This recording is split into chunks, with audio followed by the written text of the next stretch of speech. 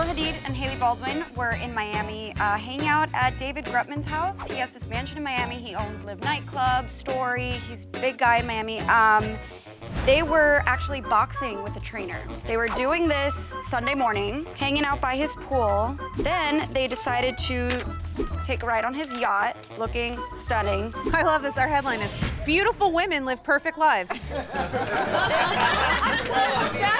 That's not a perfect life necessarily. That is a that's a pretty perfect life. Can I tell you something? You want to know a beautiful woman who went on a yacht? Natalie Wood. Okay? Beautiful women, perfect lives, not perfect lives. Have you ever watched Dateline for crying out loud? Well, Harvey, anybody can be murdered, though. Well, my point. That's like saying convertibles suck. You ever seen Jayne Mansfield? Lost her head in a convertible.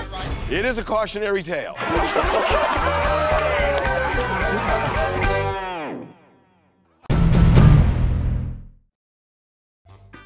TMZ. If you like our vibe, click on that button and hit subscribe. We'll send you more.